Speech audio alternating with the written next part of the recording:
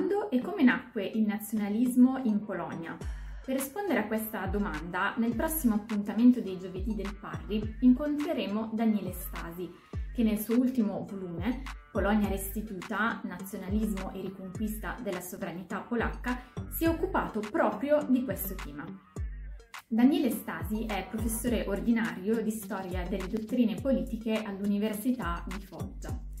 Nel suo ultimo volume ricostruisce il contesto storico, politico e sociale in cui all'inizio del Novecento si sviluppò il nazionalismo polacco, indagando le due correnti principali che si svilupparono all'interno di quest'ultimo, il nazionalismo civico rappresentato da Józef Pilsudski e il nazionalismo etnico rappresentato da Roman Dmowski.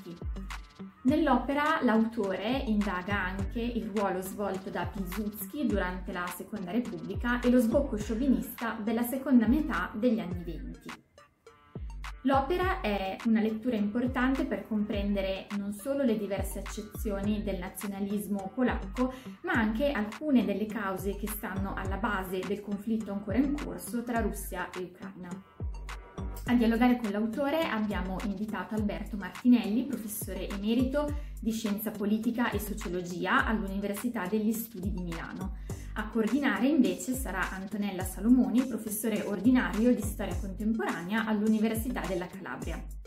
L'appuntamento è giovedì 22 settembre alle ore 18 in diretta sulla pagina Facebook dell'Istituto Nazionale Ferruccio Parri.